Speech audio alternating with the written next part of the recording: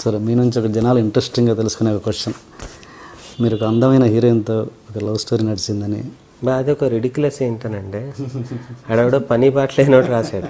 ఒక్క ఫోటో. నిజం కలిసి ఉన్నది ఒక ఫోటో వచ్చింది. ఎవ్వడ అది లేదు. కానీ ఒక పబ్లో చూసాము పోని ఒక ఫంక్షన్లో చూసాడు ఒక పెళ్ళిలో చూసాడు. లేదన్నా అంటే they should be some proof కదా. మ్యారేజ్ వరకు వెళ్ళిందని. అదే అంటే ఇక వాడు రాసుకున్నాడు ఇదేంటనంటే ఖండించే ఓపిక ఉంటే వాడి గొడవ వేరు ఉంటుంది. ఓపిక కూడా లేదు.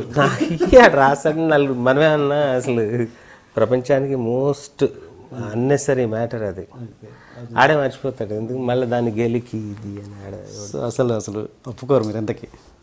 అంటే నీకు నిన్ను నువ్వు నన్ను ఒప్పుకోమని అడిగితే ఒప్పుకోవాలా అని నాకు అర్థం కాదు నేను అడుగుతున్నా do you have any proof okay is there any pic you saw అంటే ఏమన్నా ఒక లింక్ ఉందా సార్ ఇగో ఈ లింక్ బట్టి మేము ఇది ఇమాజిన్ చేసాము ఇది ట్రూ అయి ఉండొచ్చు కదా అని నువ్వు నన్ను అడిగావు అనుకో. దశరథ్ గారు చెప్పారని నేను ఒప్పుకుంటు నేను ఒప్పుకుంటున్నాను నేను నిన్ను ఒప్పించాలని కూడా కాదు. అసలు వాడెవడో రాశాడు. చివరికి మీ ఇద్దరు ఫోన్లో మాట్లాడుకుని ఇది ఎక్కడ గొడవ బాబు అంటే ఎవడిస్తున్నాడు దశరథ్ అని సురేష్ బాబు గారు అడిగి తెలియదు బాబు అంటే పని చేద్దాం ట్వీట్ చేద్దాం ఇది ఒక నాన్ సెన్స్ లా ఉంది ఎక్కడికి వెళ్ళినా అడుగుతున్నా అంటే